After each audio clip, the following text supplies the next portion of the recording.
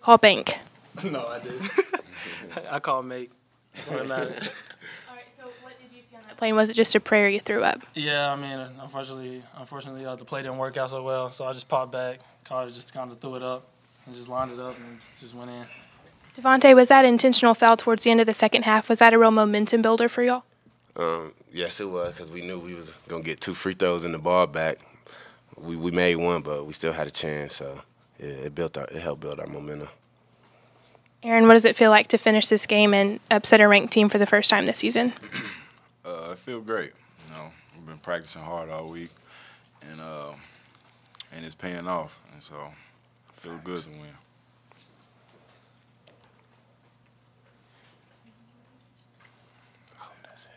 And raise your hands for questions. We'll get the mic to you. I got homework. It was a high shooting night for both teams. How did you guys prepare to keep up with an offense as, as good as Iowa State's?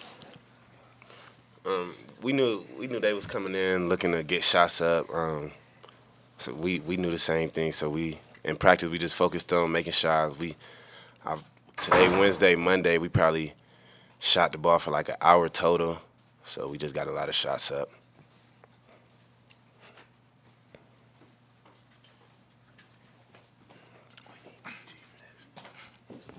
Sort of related to what he said, uh, start the second half, and whoever answers wants to answer this, is just take it. But uh, it seemed like they hit about 10 or 11 shots in a row. They just could not miss. I mean, uh, did frustration set in? Uh, Did it, you know, you start feeling like we got to do something here? Because you were trying everything, zone, press, man, seemed like nothing was working for a while.